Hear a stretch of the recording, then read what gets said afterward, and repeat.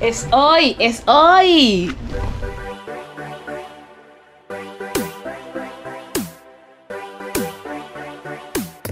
Bueno mis amores, les comento que en el día de hoy nos vamos a hacer un viaje de dos días, de dos, un viaje de dos noches y tres días a Bogotá. por acá tengo mi maleta que ya había organizado desde la noche anterior. Por aquí dejo un espacio porque los papás de mi amiga donde me voy a quedar eh, le trajeron unas cositas y ahí le voy a guardar lo que le voy a llevar ¿Qué le trajeron acá? Le trajeron unas cocadas, perdón, unas alegrías. También hay leche en polvo, unos bollos. Huelen a bollo de angelito. El bollo de angelito es hecho con maíz, con coco, azúcar y, anís. Anís. Huelen deliciosos. Así que lo voy a terminar de guardar y termino de arreglarme y ya más adelante les iré mostrando todo lo que voy a realizar en este día y cuál es el motivo de mi viaje hacia Bogotá.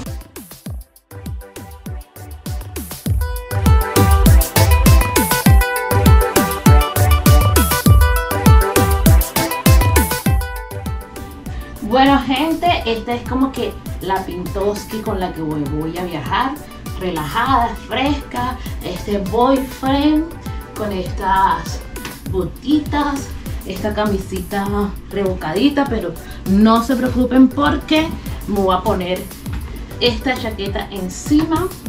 Vamos a ponérmela. A ver cómo queda enseguida. Bueno, viene ya Bueno, aquí está. Ok. La chaqueta. Ahora me, me autono ahí, quiero usarla como que aquí así. Y para combinar tengo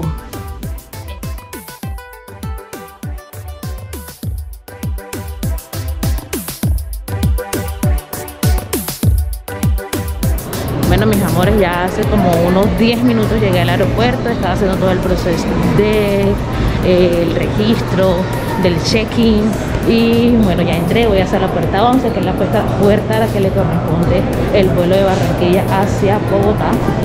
Y así es como se ve hoy el aeropuerto.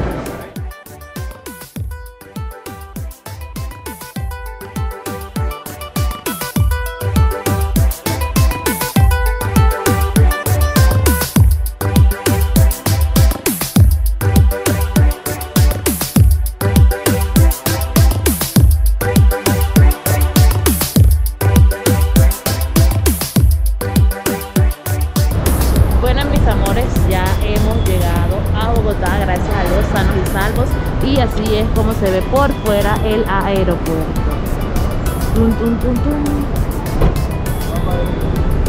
Ustedes pueden obviamente tomar carros particulares, el servicio InDriver o Uber y también pueden tomar su taxi o pueden tomar Transmilenio o los alimentadores que los pueden acercar a su lugar de destino. Voy camino a encontrarme con mi amiga pero antes quiero mostrarles lo hermoso, radiante y soleado que está haciendo este día en Bogotá.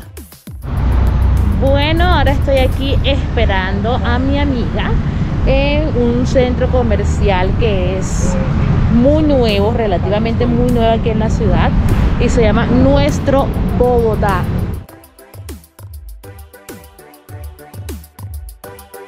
Aquí ya estoy con mi amiga Carol. y nos dimos cuenta que en la parte de afuera del centro comercial hay estas bicicletas que pueden usar gratis, obviamente cumpliendo unos requisitos.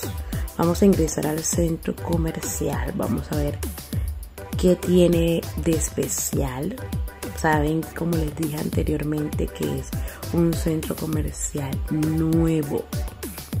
Y pues tiene mucha controversia entre los bogotanos porque dicen, dicen que ha sido construido por los hijos de Uribe y eh, algunas personas tienen sentimientos negativos hacia esto.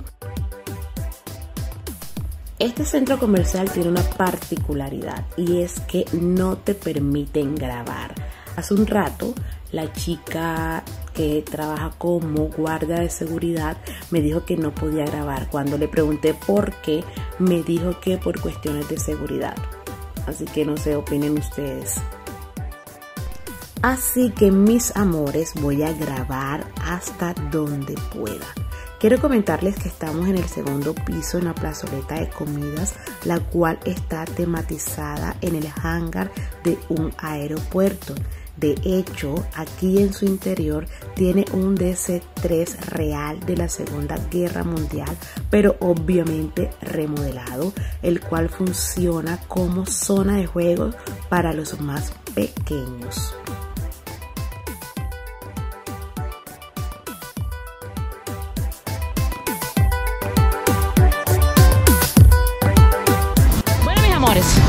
Lo que pasa es que hace alrededor de un año y ocho meses yo hice la solicitud de la cita para poder obtener la visa americana.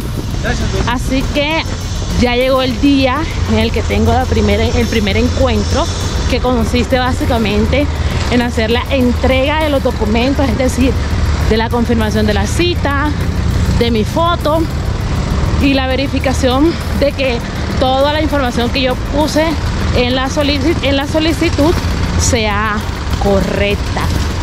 Y la cita la tengo en ese centro empresarial, empresarial perdón, Conecta. Oye, la lengua hoy se me está embolatando, empelotando. No sé si es el aire que me falta por la altura de Bogotá, pero bueno, así es la cosa. Entonces, este, Carol y yo estamos caminando para allá.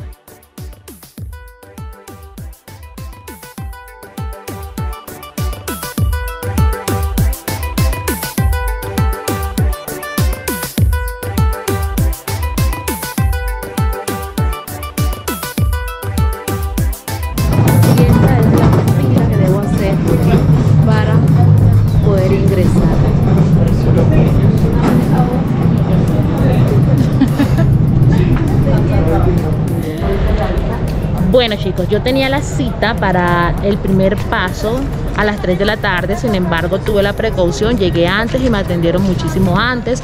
Para tu cita eh, aquí en el centro empresarial, lo que te piden es tu pasaporte y la confirmación de que hiciste la solicitud. Entonces cuando ya ingresas, te pasan a una ventanilla como donde verifican datos y después pasas a otra ventanilla donde te toman una foto, te toman las huellas y finalmente te ponen eh, este sticker con unos códigos de barra que me imagino que se harán efectivos el día en que tengamos la cita con el cónsul. Entonces esperemos ese día que será en dos días no, en un día y medio porque es el 21, pero como mañana es miércoles festivo, entonces no la voy a poder realizar mañana, sino hasta el jueves a las 8 en punto de la mañana. Después les estaré contando qué tal nos fue en la cita, qué cosas me preguntaron, cómo estuvo todo el proceso y si finalmente me aprobaron la visa. Entonces, hasta ese momento, mis amores, Atauto Vega.